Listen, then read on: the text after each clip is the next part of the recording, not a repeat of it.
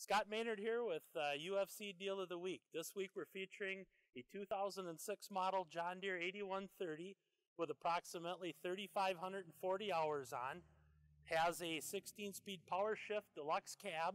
It's AutoTrac ready, four hydraulics with auxiliary couplers. Has a rock box, front duals, rear duals, factory quick hitch, and it is 540 and 1000 RPM power takeoff. Regular price is $102,900. Deal of the week price is $98.5. For this and other deals, please check our website, ufcmn.com.